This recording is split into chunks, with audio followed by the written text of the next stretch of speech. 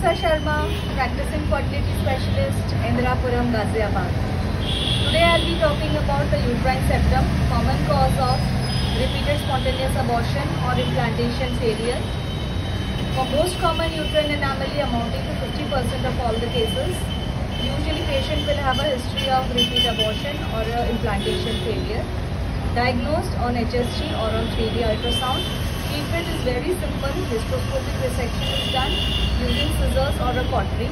Recovery is on the same day and the uterus recovers, the endometrial lining recovers in two months' time.